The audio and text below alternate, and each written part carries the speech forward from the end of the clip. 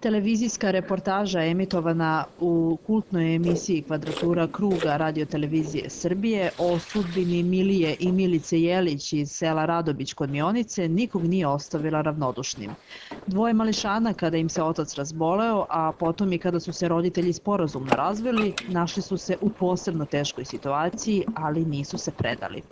Mala Milica pomaže bratu u obavljanju svih kućnih poslova, dok je Milija preuzeo i teške poslove u poljoprivrednom domaćinstvu.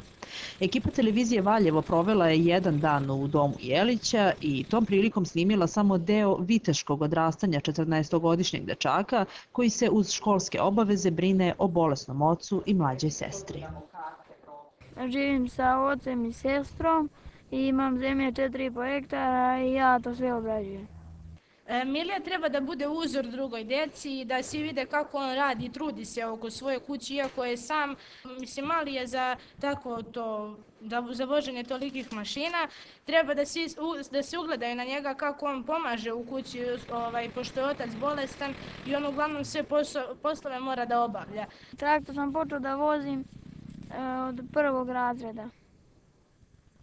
Tad sam sa ocom malo ukrila, malo i onda sam naučio da orem. Ali uvek kad orem i kad izlazim na vratine, nikad nisam mogao da, da sedim, nego uvek bio sam mali da sam morao da ustanem da zakočim. Čini mi se dok sam živa, pamtit ću njegovu rečenicu. Peti razred, a on kaže, ja kad napravim, skuvam jelo. Mi se siti najedemo. Dok sam živa, ta rečenica će živjeti u meni. A ta Milina razredna je mnogo Mili pomogla do sad kroz život. Kako je pošao u peti razred, mislim, prihvatila ga kao majka. Mnogo je se, mislim, založila i za knjige i za, za iskurziju. Što god je trebalo, mislim, detetu pružala mu je, ni majka mu ne bi toliko pružila, ni majka. Porodici Jelić javljali su se ljudi iz svih krajeva Srbije, nudili i slali pomoć. Neki od njih su i sami dolazili da se uvere u autentičnost priče. Nažalost, neki su pokušali i da se obogate na račun tuđe nesreće. Ja ne tražim da e, niko to da, prive, da ide da skuplja za moju decu po selima. Ne tražim, jer li ta osoba ako bi se pojavila, to bi trebalo prija, prijaviti.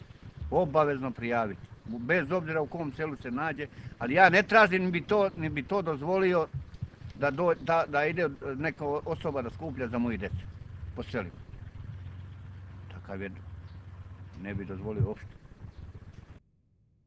Zahvaljujući humanosti pojedinaca Milija i Milica dobili su konačno stvari neophodne za život. I zaposleni u televiziji Valjevo takođe dali su svoj mali doprinos njihovom lakšem odrastanju.